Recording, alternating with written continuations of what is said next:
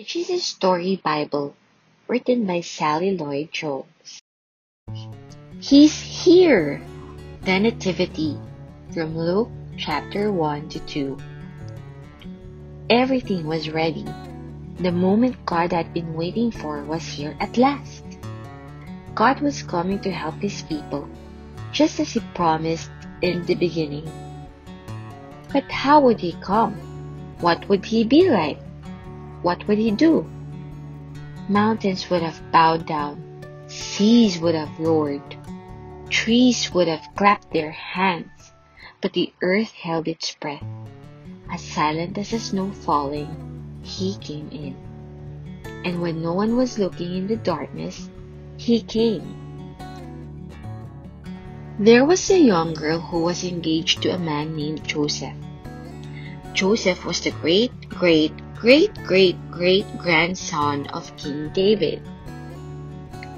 One morning, this girl was minding her own business when suddenly a great warrior of light appeared right there in her bedroom. He was Gabriel, and he was an angel, a special messenger from heaven. When she saw the tall, shining man standing there, Mary was frightened you don't need to be scared, Gabriel said. God is very happy with you. Mary looked around to see if perhaps he was talking to someone else. Mary, Gabriel said, and he laughed with such gladness that Mary's eyes filled with sudden tears. Mary, you're going to have a baby, a little boy. You will call him Jesus. He is God's own son. He's the one. He's the rescuer. The God who flung planets into space and kept them whirling around and around. The God who made the universe with just a word. The one who could do anything at all. Was making himself small and coming down as a baby. Wait. God was sending a baby to rescue the world? But it's too wonderful, Mary said, and felt her heart beating hard. How can it be true? Is anything too wonderful for God? Gabriel asked.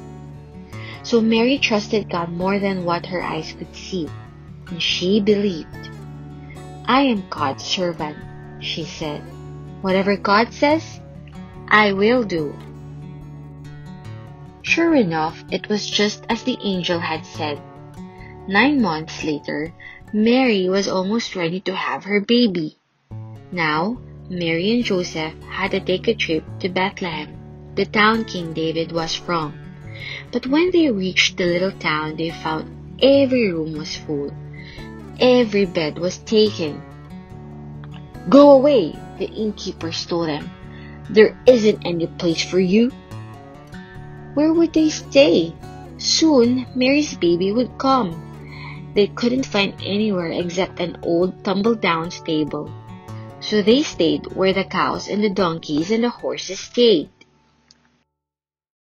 And there, in the stable, amongst the chickens and the donkeys and the cows, in the quiet of the night, God gave the world this wonderful gift. The baby would change the world was born his baby son. Mary and Joseph wrapped him up to keep him warm.